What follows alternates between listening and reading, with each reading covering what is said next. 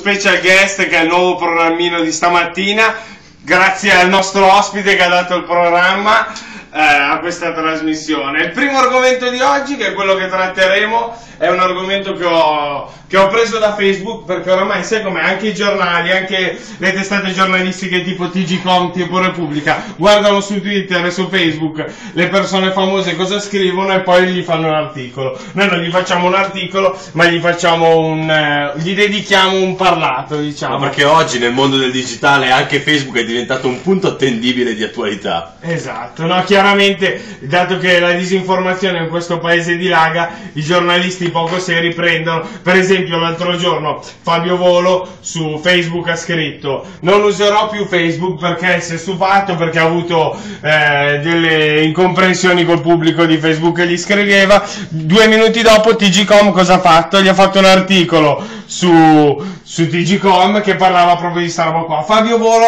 abbandona Facebook, capito? Eh, perché è diventato proprio un evento mediatico attraverso il quale Facebook è diventato proprio una mossa attraverso la quale la gente prende ispirazione ma diventa proprio una vera e propria leva della cultura italiana e mondiale ormai. Esatto, è diventato proprio fondamentale per l'esistenza umana quasi. Ma al di là di questo volevo parlarvi di Vasco perché? Perché oggi, eh, aspetta, ripartiamo dall'inizio. Cosa succede oggi? Esce il nuovo film in 3D di Ligabue del Campovolo, del concerto di, que- di questa, di quest'estate al Campovolo. Viene fatto in 3D, viene progettato stasera, esce in tutte progettato, viene, come si dice? Non progettato. Proiettato. Proiettato, un voto di memoria improvviso in tutte le sale. Allora Vasco cos'è che ha scritto?